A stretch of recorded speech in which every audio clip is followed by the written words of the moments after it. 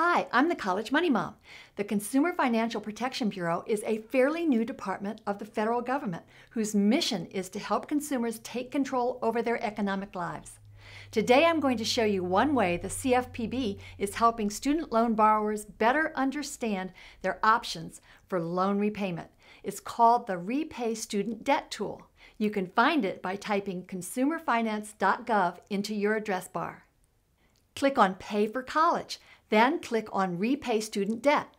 Here you can answer questions about your situation regarding your federal or your private student loans. Your answers will lead to options to help you deal more knowledgeably with student loan servicers. These companies are hired by both the federal government and private lenders to make sure you repay your loans. Lately, there have been a lot of complaints about student loan servicers. Borrowers have reported serious problems to the CFPB.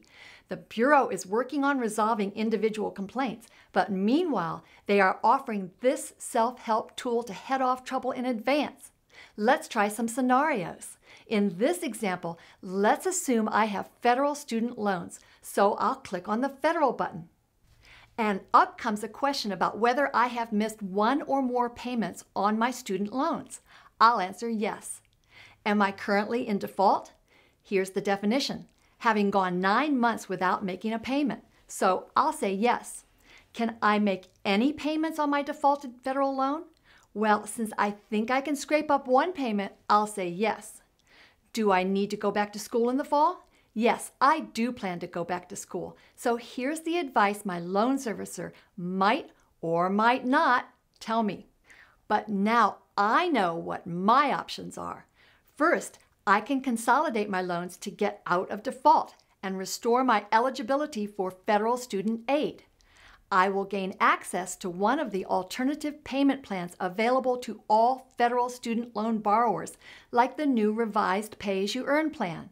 I can also choose to rehabilitate my loans instead of consolidating and I can see how to pursue my right to a resolution if I am having trouble with my student loan servicer or a debt collector by complaining to the Federal Student Aid Ombudsman Group at the U.S. Department of Education. And finally, here's a reminder to get all my federal student loan information before talking to my loan servicer. A link right to the National Student Loan Data System is provided here. Now click Clear All to go back to the top and we'll go through a private student loan scenario. I'll click on the non-federal button.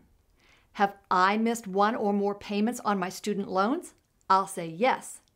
Am I currently in default? Let's say my situation fits the definition and that I am now getting calls from debt collectors, so I'll answer yes.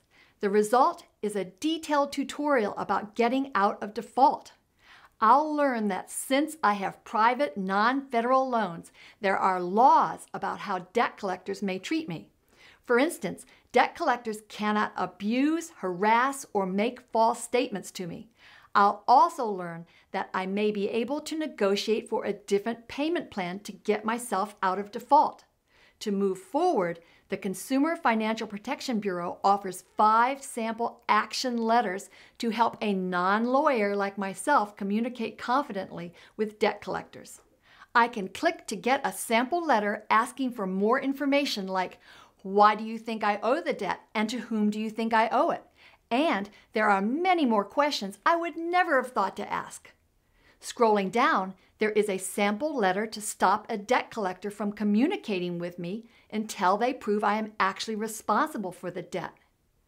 If I am indeed responsible for the debt, here's a sample letter to control how and when the debt collector can contact me. Then there's a sample letter telling the debt collector not to contact me again because I have hired a lawyer who will handle all communications about the debt. And finally, here's a Stop All Communications sample letter. This stops debt collectors from contacting me, but does not stop them from other remedies like filing a lawsuit. Want to try another scenario?